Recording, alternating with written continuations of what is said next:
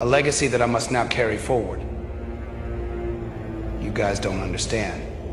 My mind is so different from the ordinary. I've embraced not one but multiple personalities that are now within me. Bo Dallas, Uncle Howdy, and now Wormwood the Jester. No one has seen this side of me before. None of you have no idea why I even made this channel to post these videos. Do you prefer this or nothing at all? It's okay to wait in the dark with nowhere to go. Hell, it's a piece of the puzzle of life. I still struggle within myself to make sense of this chaos.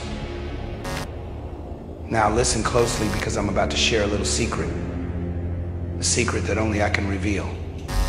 They, they will help me as I pull the strings from within. You're probably sitting there scratching your head wondering who they are.